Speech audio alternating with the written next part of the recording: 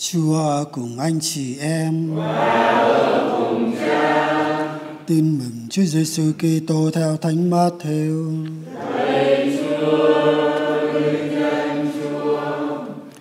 Khi ấy Đức Giêsu về quê giảng dạy dân chúng trong hội đường của họ, khiến họ sửng sốt và nói: Bởi đâu ông ta được khôn ngoan và làm được những phép lạ như thế? Ông không phải là con bác thợ sao? Mẹ của ông không phải là bà Maria, anh em của ông không phải là các ông Jacobe, Joseph, Simon và Judas sao? Và tất cả chị em của ông không phải là bà con lối xóm với chúng ta sao? Vậy bởi đâu ông ta được như thế? Và họ vấp ngã vì người. Nhưng Đức Giêsu bảo họ, ngôn sứ có bị rẻ rúng thì cũng chỉ là ở chính quê hương và trong gia đình mình mà thôi. Người không làm nhiều phép lạ tại đó vì họ không tin. Đó là lời Chúa. Lời Chúa Kitô, lời khen Chúa.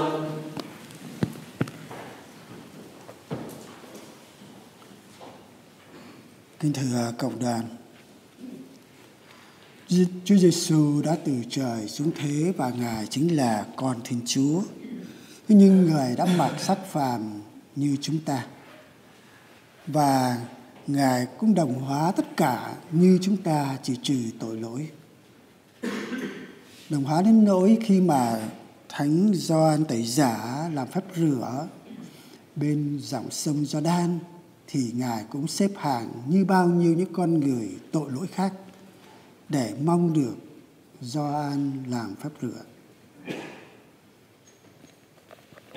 Ngài là con Thiên Chúa, thế nhưng mà lại mặc sắc phàm và không có cái gì nổi nang.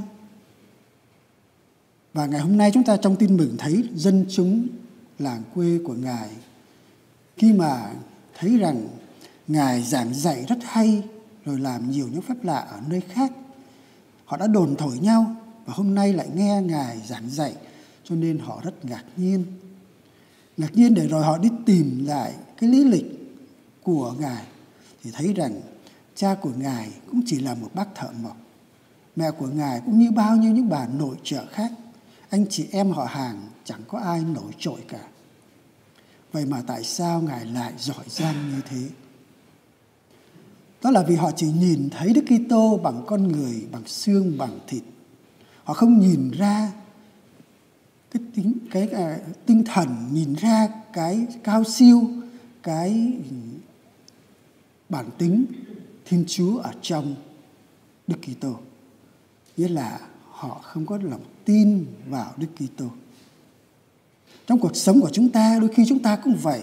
Chúng ta cũng nhìn anh chị em của mình cũng chỉ là những con người rất tầm thường.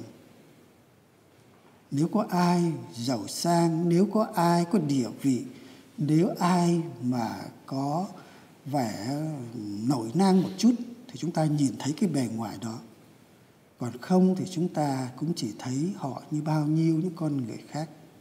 Mà chúng ta quên đi rằng mỗi một con người được thiên chúa tạo dựng họ đều có những cái bản tính bản chất có những cái sự khôn ngoan riêng và đôi khi nó còn ẩn giấu ở trong thân xác của họ con người của họ mà chúng ta không nhận ra Người ta nói mỗi một con người dù xấu xa mấy đi chăng nữa thì cũng có ít nhất 5% cái điều tốt ở nơi con người đó để đáng cho chúng ta học hỏi. Trong một câu chuyện người ta kể rằng có một cái tu viện kia à, ngày thường dân chúng đến tham dự thánh dự lễ cầu nguyện và đủ thứ rất là xuất sắng rồi dần dần cái tu viện đó trở nên hoang vắng ít người lui tới. Cho bề trên mới đến là một vị ẩn sĩ và hỏi à, xin ngài cho ý kiến là tại sao tu viện tự dưng lại như thế? Có phải vì có một người nào đó trong tu viện hoặc là tu viện đã làm cái điều gì tội lỗi chăng?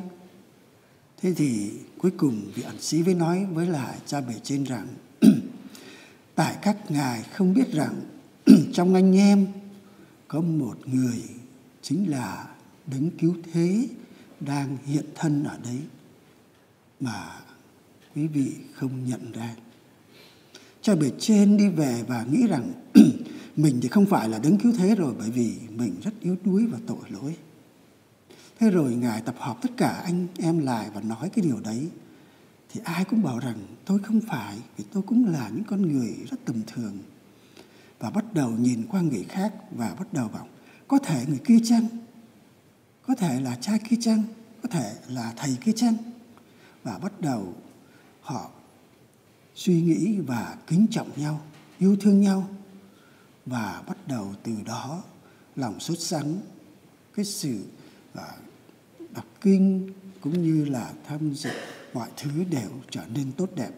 Và tiếng đồn lại lan ra và dân chúng lại kéo đến. Qua câu chuyện đó để cho chúng ta thấy được rằng con người chúng ta chúng ta chỉ nhìn thấy cái vẻ bề ngoài nhưng cái ẩn sâu bên trong không ai thấy được và đôi khi chúng ta cũng chỉ đánh giá con người theo những cái mà chúng ta thấy được mà thôi. Nên mỗi người chúng ta hãy cố gắng để chúng ta hãy nhìn vào thâm sâu của một con người.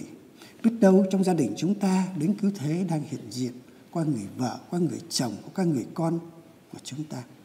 Để rồi ma kia có thể khi chúng ta à, nằm xuống thiên chúa sẽ bảo tại sao kỳ đó con lại đối xử với ta như vậy?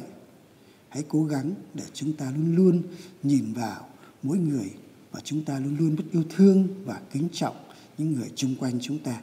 Để chúng ta đừng bao giờ khinh chê như là dân thành à, những người do thái. Họ nhìn đức kitô bằng một con mắt bình thường mà không phải là một đấng thiên sai. Bởi vì họ không tin chính vì họ không tin nên đức kitô không thể làm được phép lạ nào hết ở nơi đấy. Nên chúng ta hãy cố gắng để xin Đức Kitô cho chúng ta nhìn thấy à, anh chị em của mình hoặc là Thiên Chúa đang hiện diện ở chung quanh những con người bên cạnh chúng ta để chúng ta có thể đối xử tốt với nhau.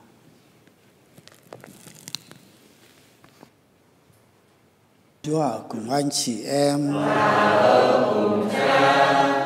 Xin Thiên Chúa toàn năng là Cha và Con và Thánh Thần, ba phút lành cho tất cả anh chị em. Amen.